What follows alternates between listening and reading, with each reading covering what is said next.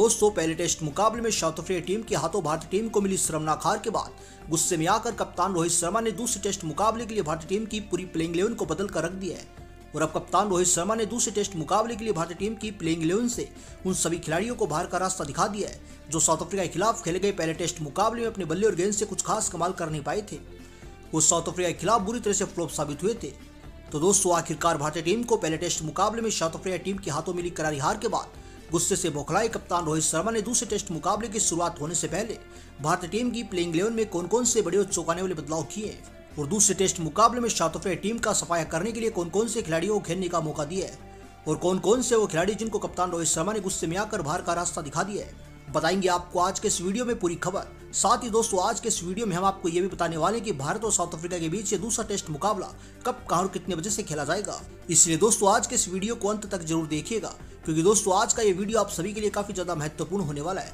तो आइए दोस्तों, आज के इस वीडियो को शुरू करते हैं। लेकिन दोस्तों, उससे पहले अगर आप भी चाहते हैं कि भारतीय टीम दूसरे महामुकाबले को जीतकर साउथ अफ्रीका के खिलाफ इस दो मुकाबलों की टेस्ट सीरीज़ को एक एक से बराबर करे तो इस वीडियो को दिल से एक लाइक ज़रूर कीजिएगा।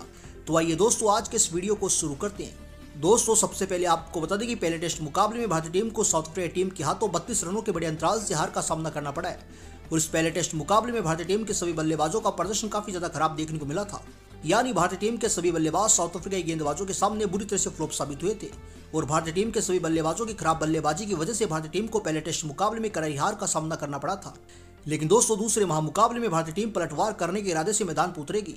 इसलिए दोस्तों, कप्तान रोहित शर्मा ने दूसरे टेस्ट मुकाबले में पलटवार करने के लिए पूरी तरह से तैयार हो चुके हैं। ऐसे में दोस्तों, साउथ अफ्रीका टीम को दूसरे टेस्ट मुकाबले में बुरी तरह से हराकर पहले टेस्ट मुकाबले में मिली हार का बदला लेने के लिए और इस दो टेस्ट मुकाबलों की सीरीज़ में एक एक से बराबरी करने के लिए भारतीय टीम की घातक प्लेइंग इलेवन का ऐलान भी कर दिया है। जी हाँ दोस्तों, आपको बता दें कि भारत और साउथ अफ्रीका के बीच दूसरा टेस्ट मुकाबला तीन जनवरी को खेला जाएगा और ये दूसरा महामुकाबला साउथ अफ्रीका के केपटाउन के मैदान पर खेला जाएगा, जिसकी शुरुआत भारतीय समय अनुसार डेढ़ बजे से होगी। दोस्तों, आपको बता दें, दोनों ही टीमों के बीच ये दूसरा टेस्ट मुकाबला काफ़ी ज़्यादा रोमांचक और कांटेदार होने वाला है। क्योंकि दोस्तों, जहाँ भारतीय टीम इस महामुकाबले को जीतकर इस दो मुकाबलों की टेस्ट सीरीज़ को एक एक से बराबर करना चाहेगी तो वहीं साउथ अफ्रीका की टीम इस महामुकाबले को जीतकर सीरीज़ पर कब्जा करना चाहेगी। ऐसे में दोनों ही टीमें इस महामुकाबले को जीतने के लिए अपना पूरा ज़ोर लगाने वाली है। यानी हमें दोनों ही टीमों के बीच एक बेहद ही रोमांचक टेस्ट मुकाबला देखने को मिलने वाला है। तो आइए दोस्तों, अब जानते हैं कि भारतीय टीम के कप्तान रोहित शर्मा ने इस दूसरे टेस्ट मुकाबले में साउथ अफ्रीका का सफाया करने के लिए भारतीय टीम की प्लेइंग इलेवन में कौन कौन से खिलाड़ियों को खेलने का मौका दिया है और किसे दिखाया बाहर का रास्ता। दोस्तों, अगर सबसे पहले हम भारत की इस्लामी जोड़ी की बात करें तो आपको बता दें कप्तान रोहित शर्मा ने साउथ अफ्रीका के खिलाफ इस दूसरे टेस्ट मुकाबले में भारतीय टीम की इस्लामी जोड़ी के रूप में कोई भी बदलाव नहीं किया है। यानी दूसरे महामुकाबले में एक बार फिर रोहित शर्मा और यशस्वी जायसवाल भारतीय पारी की शुरुआत करते हुए नज़र आएँगे। हालाँकि दोस्तों, ये दोनों ही बल्लेबाज पहले टेस्ट मुकाबले में अपने बल्ले से कुछ खास कमाल कर नहीं पाए थे। और साउथ अफ्रीका गेंदबाजों के सामने बुरी तरह से फ्लॉप साबित हुए थे। क्योंकि दोस्तों, जहाँ पहले टेस्ट मुकाबले की पहली पारी में जहाँ जायसवाल मात्र सत्रह रन बनाकर चलते बने थे तो वही दोस्तों दूसरी पारी में जयसवाल मात्र पाँच रनों की पारी खेलने में कामयाब हो पाए थे। वो साउथ अफ्रीका गेंदबाजों का सामना करने में बुरी तरह से नाकाम रहे थे। और यही वजह है कि भारतीय टीम के ओपनर बल्लेबाजों की वजह से भारतीय टीम को हार का सामना करना पड़ा था। हालाँकि दोस्तों, हम सभी जानते हैं कि यशस्वी जयसवाल काफ़ी शानदार तूफानी बल्लेबाज है और टेस्ट फॉर्मेट में जयसवाल काफ़ी कमाल की बल्लेबाजी करते हैं। इसलिए दोस्तों, कप्तान रोहित शर्मा ने एक बार फिर जयसवाल को ओपनिंग बैटल में बल्लेबाजी करने का मौका दिया है। जबकि दोस्तों, जायसवाल के अलावा रोहित शर्मा भी इस महामुकाबले में भारतीय पारी की शुरुआत करते हुए नज़र आएँगे। हालाँकि दोस्तों, पहले टेस्ट मुकाबले में रोहित शर्मा का बल्ला भी पूरी तरह से खामोश रहा था।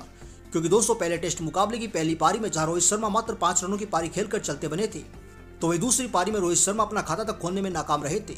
लेकिन दोस्तों, यदि भारतीय टीम को दूसरे टेस्ट मुकाबले में जीत हासिल करनी है तो भारत के इन दोनों ही बल्लेबाजों को ओपनिंग बैटल में आकर काफ़ी शानदार अंदाज में बल्लेबाजी करनी होगी।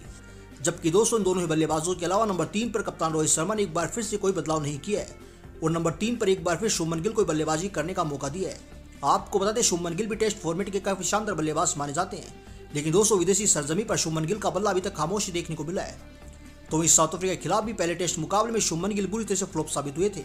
क्योंकि दोस्तों जहाँ पहले टेस्ट मुकाबले की पहली पारी में शुभमन गिल केवल दो रन ही बना सके थे तो वही दूसरी पारी में गिल साहब मात्र छब्बीस रनों की पारी खेलकर जॉनसन के शिकार हो गए थे। लेकिन दोस्तों, अभी दूसरे टेस्ट मुकाबले में शुभमन गिल को अच्छी बल्लेबाजी करके दिखाना ही पड़ेगा। तभी भारतीय टीम दूसरे टेस्ट मुकाबले में साउथ अफ्रीका टीम को हरा पाएगी। क्योंकि दोस्तों, साउथ अफ्रीका टीम को उसी की सरजमी पर हराना भारतीय टीम के लिए इतना भी आसान नहीं होगा। क्योंकि दोस्तों, साउथ अफ्रीका के सभी बल्लेबाज इन दोनों काफ़ी शानदार फॉर्म में चल रहे हैं।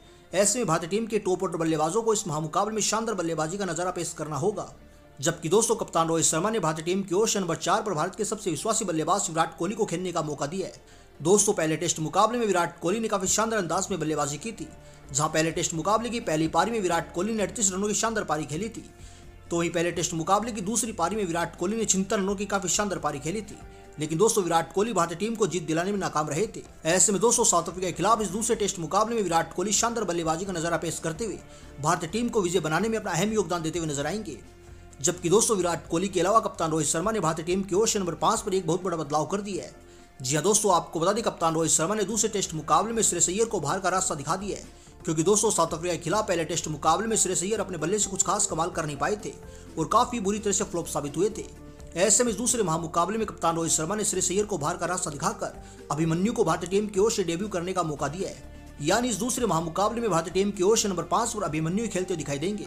और दोस्तों, आपको बता दें अभिमन्यु टेस्ट फॉर्मेट के काफ़ी शानदार बल्लेबाज माने जाते हैं और अपनी शानदार बल्लेबाजी के दम पर किसी भी गेंदबाज को घुटने पर बैठने को मजबूर कर देते हैं। ऐसे में ये देखना काफ़ी दिलचस्प होगा कि अभिमन्यु अपने डेब्यू मुकाबले में किस अंदाज में बल्लेबाजी करते हैं। जबकि दोस्तों, नंबर छह पर कप्तान रोहित शर्मा ने विकेट कीपर बल्लेबाज के तौर पर लोकेश राहुल को बल्लेबाजी करने का मौका दिया है और दोस्तों, लोकेश राहुल भी इन दिनों काफ़ी शानदार फॉर्म में चल रहे हैं। जी हाँ दोस्तों, आपको बता दें, जहाँ पहले टेस्ट मुकाबले की पहली पारी में भारत के सभी बल्लेबाज ढेर हो चुके थे तो वहीं लोकेश राहुल ने एक छोर से साउथ अफ्रीका के गेंदबाजों का डटकर सामना किया और 101 रनों की शतकीय पारी खेलकर भारतीय टीम को एक सम्मानजनक स्कोर तक पहुँचाया था। हालाँकि दोस्तों, दूसरी पारी में लोकेश राहुल मात्र चार रनों की पारी खेलकर चलते बने थे। ऐसे में दोस्तों, इस दूसरे टेस्ट मुकाबले में लोकेश राहुल शानदार बल्लेबाजी करते हुए भारतीय टीम की जीत की पटकथा लिखना चाहेंगे। जबकि दोस्तों, लोकेश राहुल के अलावा कप्तान रोहित शर्मा ने भारतीय टीम की ओर से नंबर सात पर एक बहुत बड़ा बदलाव कर दिया है और कप्तान रोहित शर्मा ने दूसरे टेस्ट मुकाबले में रविचंद्रन अश्विन को बाहर का रास्ता दिखा दिया है। क्योंकि दोस्तों अश्विन का प्रदर्शन पहले टेस्ट मुकाबले में कुछ खास देखने को मिला नहीं था, और अपने गेंद और बल्ले से अश्विन कुछ खास कमाल कर नहीं पाए थे, और बुरी तरह से फ्लॉप साबित हुए थे। ऐसे में दूसरे टेस्ट महामुकाबले में कप्तान रोहित शर्मा ने अश्विन को बाहर का रास्ता दिखाकर रविंद्र जडेजा को खेलने का मौका दिया है। और जैसा कि आप सभी जानते हैं, जडेजा कितने शानदार खिलाड़ी है, और इन दिनों कितनी शानदार फॉर्म में चल रहे हैं। और जडेजा अपनी शानदार गेंदबाजी के साथ साथ निचले क्रम में आकर काफ़ी तूफानी अंदाज में बल्लेबाजी भी कर सकते हैं। ऐसे में साउथ अफ्रीका के खिलाफ इस दूसरे टेस्ट मुकाबले में जडेजा कप्तान रोहित शर्मा के लिए तुरंत का इक्का साबित हो सकते हैं। जबकि दोस्तों जडेजा के अलावा कप्तान रोहित शर्मा ने भारतीय टीम की ओर से नंबर आठ पर शार्दुल ठाकुर को खेलने का मौका दिया है। वो जैसा कि आप सभी जानते हैं, शार्दुल ठाकुर भी शानदार गेंदबाजी के साथ साथ निचले क्रम में आकर काफ़ी कमाल की बल्लेबाजी भी कर सकते हैं।